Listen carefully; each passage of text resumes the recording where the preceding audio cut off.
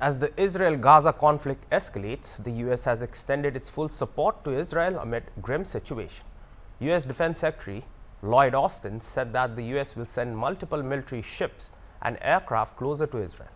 Lloyd Austin, Defense Secretary, United States, said that he has directed the movement of the USS Gerald R. Ford carrier strike group to the eastern Mediterranean.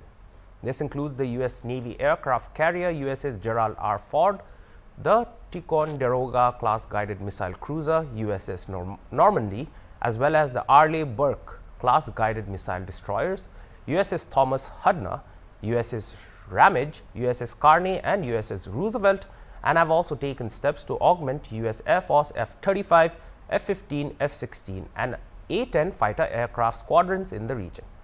Lloyd Austin said the US maintains ready forces globally to further reinforce this deterrence posture if required.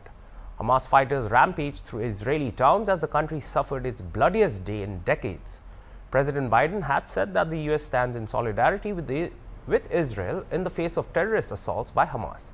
Israel Prime Minister Benjamin Netanyahu also thanked Joe Biden for his words.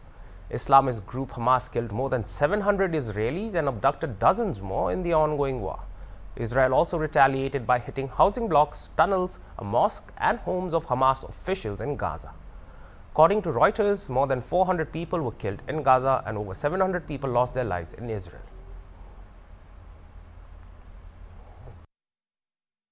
The United States stands with Israel. We will not ever fail to have their back. We'll make sure that they have the help their citizens need and they can continue to defend themselves. You know, the world's seen appalling images. Thousands of rockets in the space of hours raining down on Israeli cities. Israel has the right to defend itself and its people. Full stop. There's never justification for terrorist attacks. And my administration's support for Israel's security is rock solid and unwavering. Let me say this as clearly as I can. This is not a moment for any party hostile to Israel to exploit these attacks to seek advantage.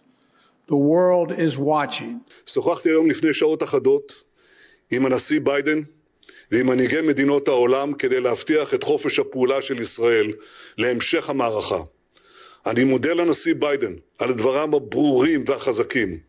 אני מודה לנשיא צרפת, לראש ממשלת בריטניה ולמנהיגים רבים אחרים על תמיכתם הבלתי מסויגת בישראל.